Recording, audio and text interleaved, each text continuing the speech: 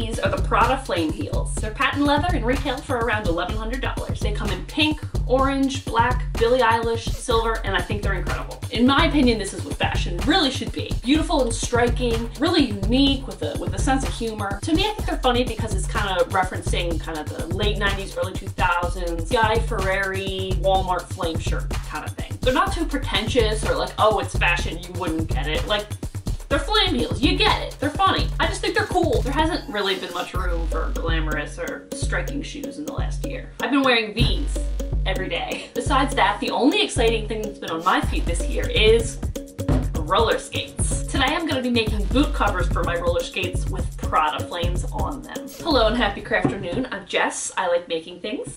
In my videos, I make a weird thing that I think should exist or exist differently. And in this case, we're making boot covers and Prada Flame shoes, but kind of just putting them together. so instead of buying new spandex, I'm just gonna cut up an old pair of leggings for this. Today is gonna be very machine heavy. I'm gonna sew the boot covers myself, and I'm gonna dust off my Silhouette Cameo vinyl cutting machine to cut out the vinyl into flames. I'm not exactly sure how I'm gonna do this, but I'm going to figure it out. Somehow not say I know what I'm doing, but I'm going for it. Alright, choppity chop the crotch of the pants. Ooh, I rip it? Oh yeah.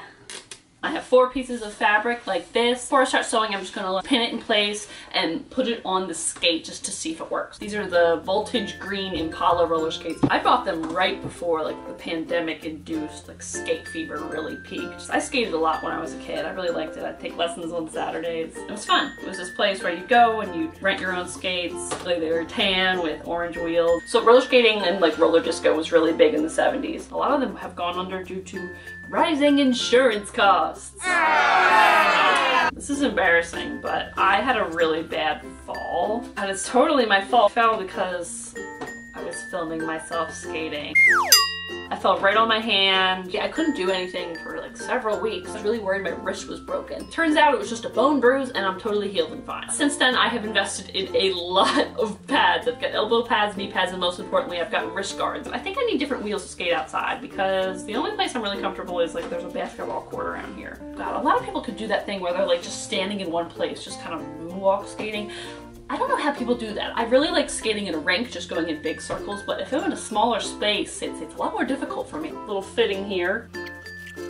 I think this is gonna work. I really hate these leggings because they're like thermal and warm and I need clothes that cool me off generally. And this won't be going on my skin, so I think it's a good use of, I think I got these leggings at like Goodwill or something to be honest. I'm gonna do some cutting here. Happy with that. So now that I have a good like pattern design on here, I'm gonna trace it onto the other one, pin it, and I'll be back for some sewing. This isn't exactly a tutorial. I'm just trying to hang out and make weird things. But really, you just, uh, with boob covers, you just sew along the sides. You leave the top and the bottom open and you put elastic there, which I hope will arrive soon. Also, not to flex, but I've uh, made like everything you see here today. This was just an old sheet I had and I was like painting a lot of like furniture and stuff at the time and I just really like how the paint looks on it. I made this t-shirt myself, ordered a bunch of t-shirts in a bunch of different colors and I kind of Frankenstein them together. And I also made these earrings out of polymer clay. Okay, we're all pinned. Boop, boop, boop. Just gonna like zigzag stitch on the edge here. Yeah.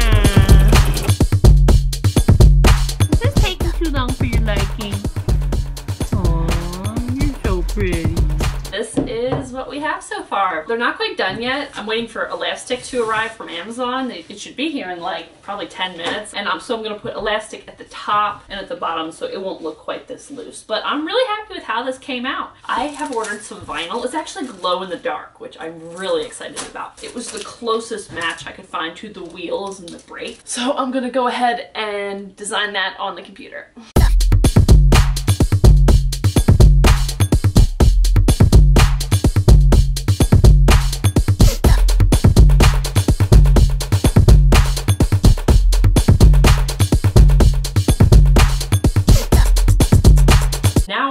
Ready to cut it out with my vinyl cutter. The elastic for the skates was supposed to be here about an hour ago, and now I don't know when it's going to get here, so this is not going to get completed today. But that's fine. I am TV. Welcome to my vinyl cutter.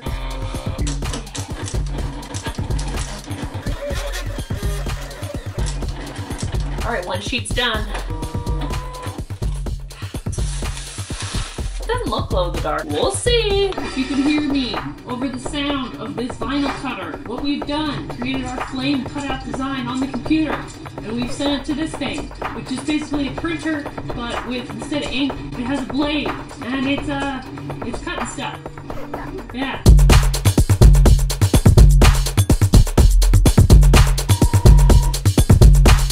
All right, we're done. I just cut everything out. The machine will only cut through the plastic layer. It's not cutting through everything because the type of vinyl I'm using is not meant for this. Machine did it once and then I had to cut around the edges to get the back layer and I just realized that I can just have the machine cut through everything twice.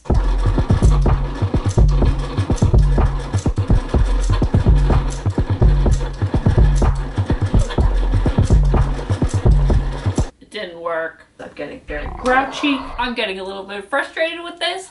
I think I'm going to sign off for the night and I will see y'all tomorrow. The other day's frustration was brought to you by accidental intermittent fasting. What is intermittent fasting? What is so fast about those mittens? Tonight at 7. Yesterday I finished all the prep work on the skates. The elastic finally came and I sewed that to the top and the bottom of the skates to give this really nice look. I think it came out really good. I was off camera but I was filming my hands. With the vinyl cutter I cut out these pre-cut holes so that I could sew it and it wouldn't rip. I planned this design so the rectangle on the black part of the flames would fold in half sandwiching the layer of yellow vinyl between two layers of black vinyl.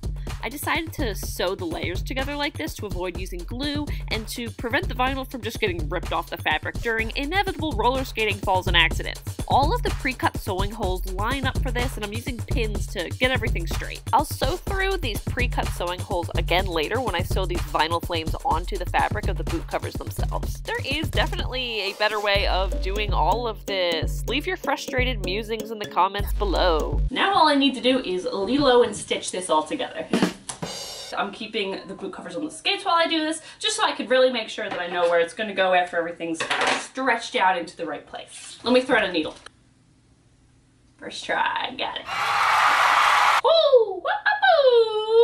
So I have a few updates from my last video. I solved the $100,000 puzzle. I kind of figured out how to cheat, although I don't know if I could even call it that because it still took me eight hours to finish it after I figured out a shortcut, which is ridiculous. I watched a YouTube video of somebody else making the puzzle and they said they spent 27 hours on it. When I heard that, I was like, I need to figure out a faster way of doing this. Here's how I solved the $100,000 puzzle.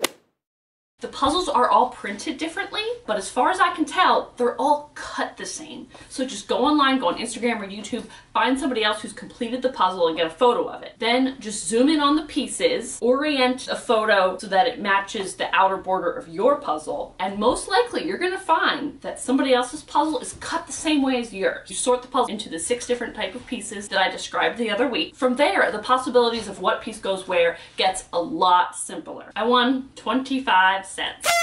Originally, I thought the $100,000 puzzle was a really good idea. I thought it was a really fun concept, but I no longer feel that way. That puzzle was a lot of work, and puzzles are supposed to be fun, and it's just not one. It's just two colors and there's no picture. And imagine how many people spent frustrating, unhappy time trying to solve this puzzle. Like, it's just not very considerate. I had this idea that maybe I could paint over the puzzle. I went in with no plan, and it came out ugly, and I hate it, and the pieces are all permanently stuck together now, but occasional failures are fine. And that's all I'll say on that. Once I put the flames on here, I feel like these and, you know, the Prada flame heels in general, they have real Fire Nation energy.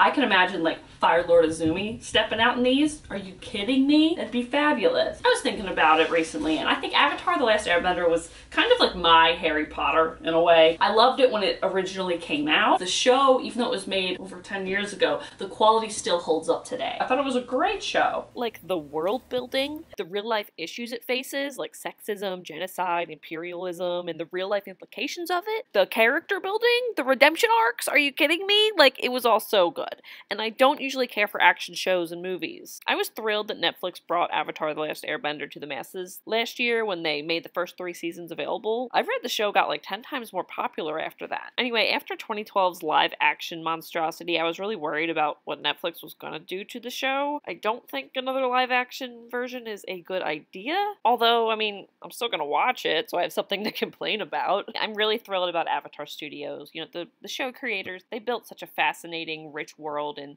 the original two shows, and I hope we keep getting more and more stories from it over the coming years. Two things I'd like to see from Avatar Studios. I really like the story of Wan, the first Airbender, which was a story they touched on in Legend of Korra. Like back when the Airbenders like still existed and everything before they were wiped out by the Fire Nation. How?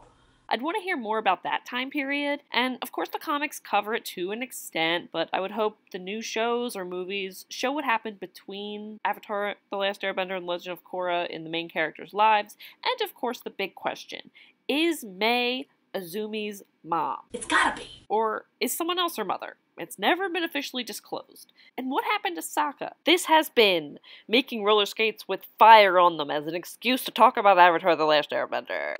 I'm just stitching this together, trying not to go too far in there that I sew the shoelaces onto the boot cover. That would not be good. Also, I wanted to give a brief update on the corn people on Facebook. I successfully angered a couple hundred corn people on Facebook. Basically, there's this weird Facebook group called a group where everyone angry reacts to corn. If you click the link in the top right corner right now, you can watch my previous videos on projects I've made to piss off the corn people. I received angry Michael Scott gifts. I received angry Leslie Knope gifts. I gained five subscribers, and soon after, I decided to public my subscriber count. I was gonna wait till I had 100 subscribers, but I'm at 45 as of today tying a knot. This is some pretty sloppy sewing, but none of it will be seen. I finished skates. You wanna see them? You wanna see them?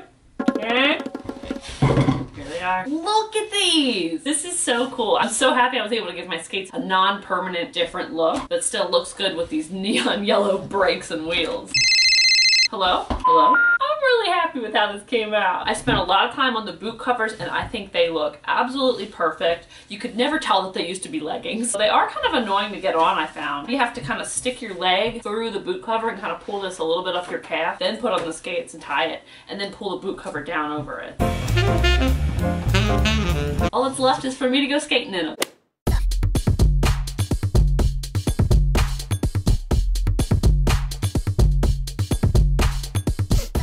I kind of like that it has some movement.